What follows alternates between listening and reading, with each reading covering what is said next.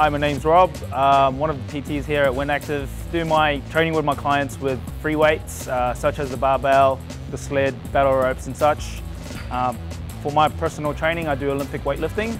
I've been with WynActive for three years now, and out of those two, I've had a client for two years. Uh, he's not known anything about the fitness sense. He's done GPP, which is general physical preparedness. We've gained muscle for him as well, um, so he's put on weight. So he used to weigh roughly around 65 kilos.